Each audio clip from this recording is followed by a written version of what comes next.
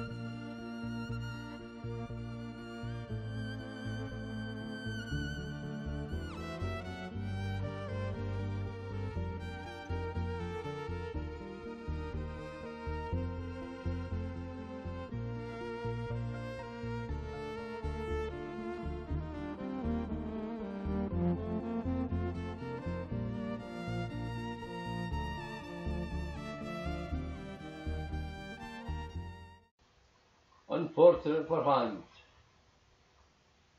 First fishy hook.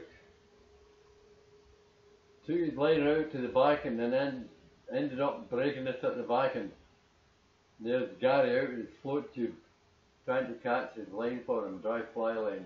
No, we waited around but couldn't get it. His Gary to admit defeat and come back in But it was nice to do us just to hang around.